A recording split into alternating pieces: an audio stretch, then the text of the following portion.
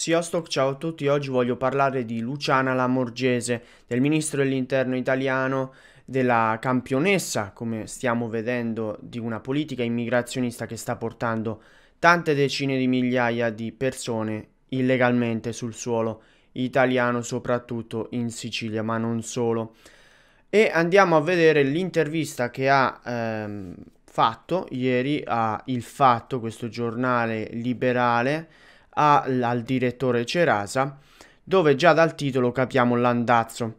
La Morgese, cara Europa, cara Europa, niente recovery fund, quindi i fondi per la rinascita economica, possiamo dire, dopo la cosiddetta prima ondata del Covid, delle misure anti-Covid che hanno causato grandi danni, soprattutto in Italia, ai paesi che non collaborano, si legge, sui migranti, cioè in sostanza ai paesi del gruppo di Visegrad, quindi Ungheria, Polonia, Repubblica Ceca e Slovacchia, colpevoli di non volere le quote. Andiamo a leggere il sottotitolo. La redistribuzione dei migranti diventi obbligatoria non volontaria.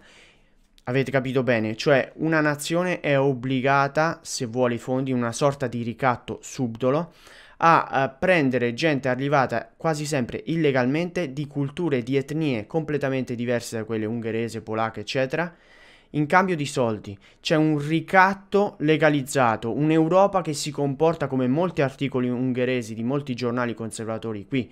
Un'Europa matrigna, un'Europa in stile sovietico sovietico perché centralizza tutte le decisioni, vuole togliere ogni tipo di sovranità alla nazione, sorpassare, surclassare la nazione come nei migliori sogni di Soros per creare degli organismi che comandano dall'alto, magari con delle burocrazie, con delle tecnocrazie mai elette dai popoli europei come in Europa la redistribuzione dei migranti diventi obbligatoria non volontaria perché ora è volontaria proprio sotto la spinta del gruppo di Visegrad in Europa. Cioè se io, governo nazionale, voglio prendere delle quote di clandestini arrivati clandestinamente in Europa, posso prenderli.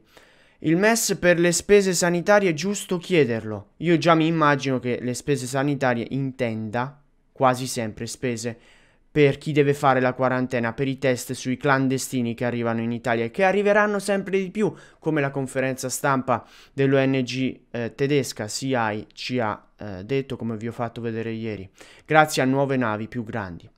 È anche un tema di sicurezza. Ah, non è un tema di sicurezza sbarrare la strada a chi vuole arrivare in massa, decine di migliaia, milioni magari nei prossimi anni, illegalmente in Italia e in Europa. No, no, caro ministro cambiare i decreti Salvini, il testo è pronto, quindi l'andazzo è chiaro.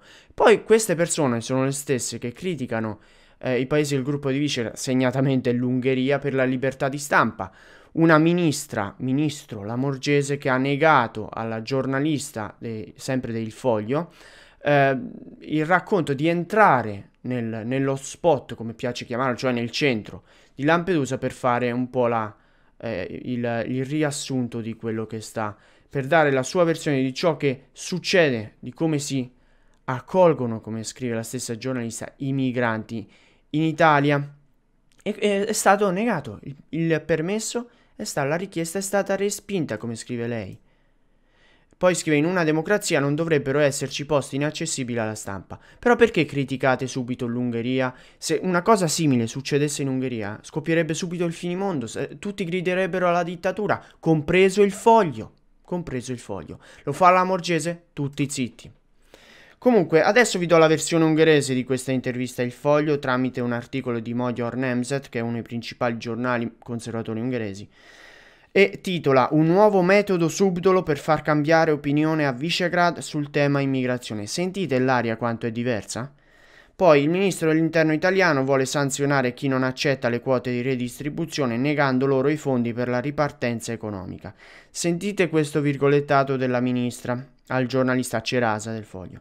So che i quattro del gruppo di Visegrad, quindi anche l'Ungheria, hanno una posizione diversa, ma l'UE è in un'epoca di grandi svolte e ci vuole responsabilità per trasformare i piani europei in realtà. I piani europei. I piani europei dunque sono quelli di trasformare le società europee, i popoli europei in popoli multietnici, mescolati etnicamente, quindi creare gli Stati Uniti d'Europa quindi Stati Uniti d'America in Europa. Allora ho ragione quando dico che uno degli obiettivi della Pan-Europa, come nel piano Galerghi, nel piano Soros, è quello di mescolare i popoli europei, distruggerli etnicamente, identitariamente. Gli accordi di Malta hanno permesso da settembre scorso più di 1200 ricollocamenti volontari dall'Italia verso Germania 238 e Francia 369. Da inizio anno in Italia gli arrivi illegali sono circa 20.000 ufficialmente, come scrive il giornale. Dunque la penisola nei piani europei è un filtro per la sostituzione graduale dei popoli europei. Dei 6.300 tunisini poi negano l'invasione, questo negano la sostituzione etnica graduale degli italiani, anche degli italiani. Dei 6.300 tunisini arrivati tra luglio e agosto in Italia, migranti economici, come piace chiamarli alla ministra, eh, con un perfetto politicamente corretto, solo 400 scarsi, scarsi sono stati rimandati al di là del Mediterraneo in Tunisia. La Morgese dice che potrebbero essere rimpatriate ogni settimana 80 persone secondo gli accordi. Ovviamente non farà mai rimpatri di massa del genere, scordiamocelo. L'8 settembre a Trieste dice che terrà dei colloqui per parlare di rotta balcanica. Chissà se discuteranno, discuterà la ministra delle proteste anticlandestini di Bihać in Bosnia e Herzegovina, come ci racconta questo servizio di M1 di qualche giorno fa della televisione pubblica ungherese, o dei tre tunnel, dei tre tunnel sotterranei sotto alle barriere eh, ungheresi tra Ungheria e Serbia, trovati in un solo giorno dalla polizia e dall'esercito ungherese. Vedete a Kochmar, a Cicherio e a Kelebio, quindi in tre posti eh, prima della Voivodina, nella Serbia del nord. Mauro Palma, garante dei diritti individuali della libertà personale, ci dice l'articolo di prima, termina così l'articolo di prima di Modior Nemzet. Giovedì ha raccontato di 84.000 immigrati nei centri italiani. Il pericolo per lui è che la gestione non permette, la congestione meglio, la gestione strana, caotica, la congestione non permette il rispetto delle norme anticontagio, così come le frequenti proteste nei centri. Avete capito bene? Il punto non è fermare, eh, il punto è che tutti danno per scontata la presenza di illegali, di persone arrivate illegalmente in Italia, che poi devono essere sparpagliate in tutta l'UE e questo, questo è, sono i piani sono i piani dell'Unione Europea. Vi rendete conto da chi è comandata l'Unione Europea, da chi è comandata l'Italia oggi? Ecco, non dico altro, non dico altro. Se il video eh, vi è piaciuto lasciate un mi piace, condividetelo, iscrivetevi e se potete e volete fate una donazione anche mensile e anche tramite eh, la nuova funzione abbonamento qui sotto vicino al tasto iscriviti. Alla prossima, vi slat, arrivederci.